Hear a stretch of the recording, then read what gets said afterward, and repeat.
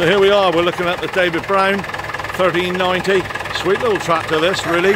Genuine farmer's tractor, come from uh, a farm up in North Devon. Uh, looking nice, complete with that loader and the bucket. Uh, I, nearly a new, well it is brand new bucket, never been used really, that bucket. Sweet little tractor, all ticking over nicely. Doesn't really need anything done to it at all. Man just tidied it up, nothing leaking, no problems. Looks alright to me. And uh, you'll see that in Holsworthy and a sweet little thing.